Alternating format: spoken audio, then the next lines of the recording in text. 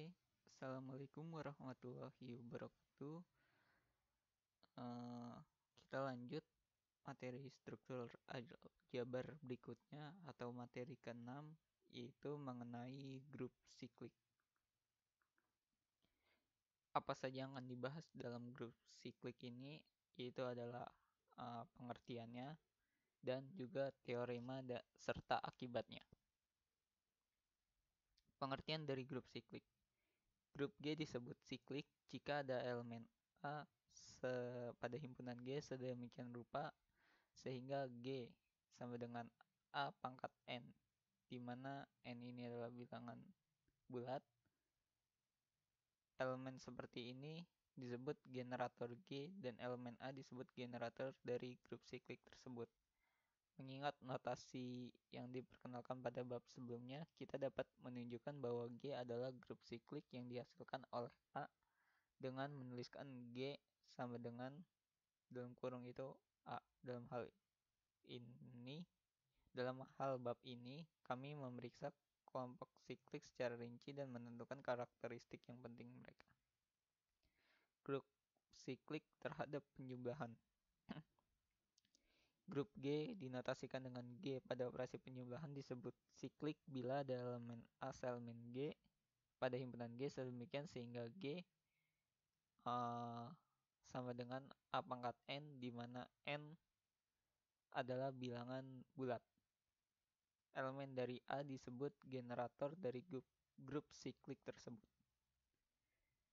Terus grup siklik terhadap perkalian itu adalah A G pada operasi titik atau perkalian disebut siklik bila ada elemen A pada himpunan G. Sedemikian sehingga G sama dengan A pangkat N di mana N ini juga bilangan bulat.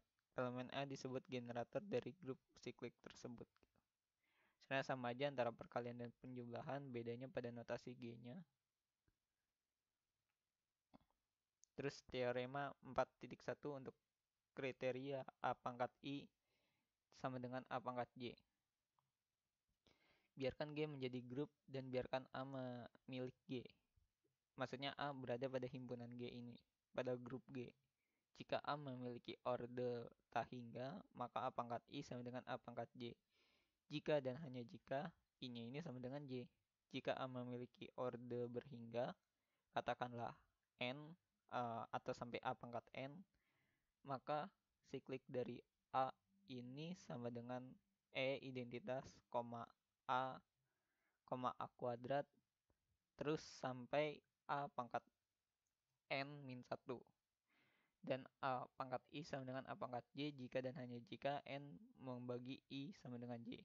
Jika A memiliki orde tak hingga, tidak ada N bukan 0, sehingga pangkat N adalah identitas karena A pangkat I sama dengan A pangkat J menyiratkan A pangkat I dikurang J ini sama dengan identitas kita harus memiliki I sama dengan J ini sama dengan 0 I dikurang J ini sama dengan 0 dan pernyataan teorema pertama bisa terbukti. Akibatnya order dari A sama dengan order dari siklik A. Untuk setiap elemen grup, order A sama dengan siklik A. Satu kasus khusus dari teorema 4.1 terjadi begitu sering sehingga layak untuk dibedakan. Terus untuk akibat kedua, A pangkat K elemen N menyiratkan bahwa order dari A membagi K. Misalkan G suatu grup dan misalkan A adalah anggota order dari N dalam G. Jika A pangkat K elemen dengan E, maka N membagi K.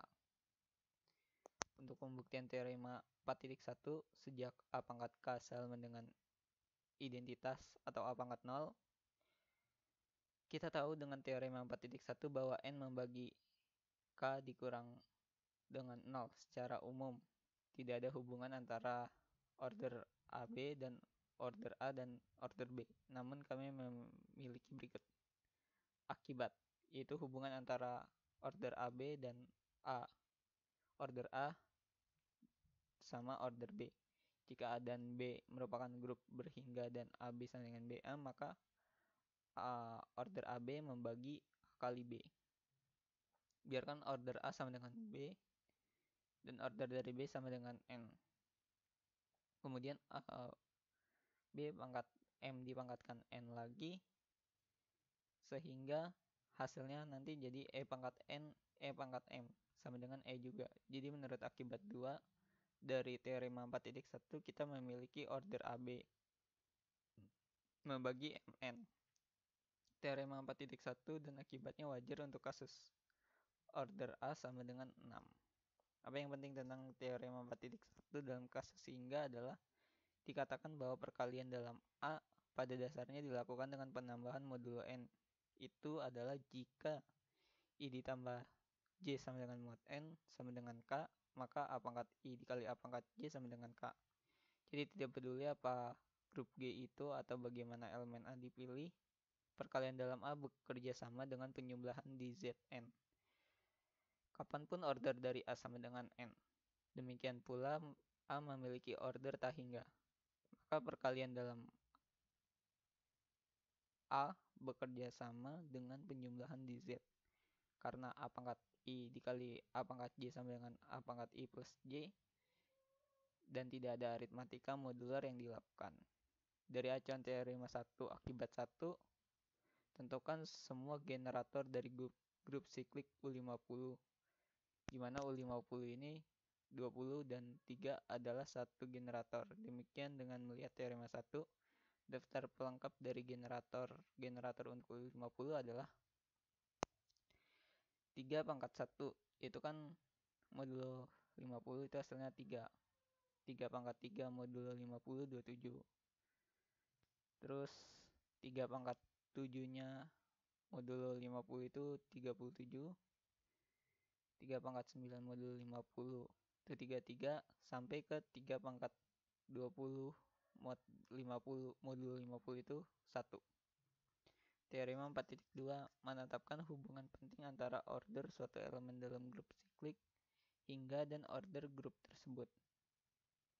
Dan teorema 4.3, teorema dasar grup siklik, setiap subgrup dari grup siklik adalah siklik, apalagi jika order dari siklik A sama dengan N, maka order dari setiap subgrup siklik A adalah pembagi dari N. Untuk masing-masing pembagi positif K dari N.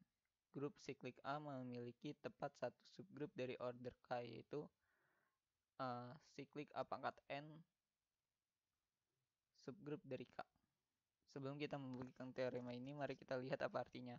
Memahami apa arti teorema adalah prasyarat untuk memahami buktinya. Misalkan G 5 kal dan G berorder 30. Bagian pertama dan kedua teorema mengatakan bahwa jika H adalah sembarang subgrup dari G, maka H berbentuk K A 30 per KL untuk beberapa K yang merupakan pembagian dari 30. Bagian ketiga dari teorema mengatakan bahwa G memiliki satu subgrup dari masing-masing order 1, 2, 3, 5, 6, 10, 15, dan 30, dan tidak ada yang lain. Bukti juga menunjukkan bagaimana menemukan subkelompok ini.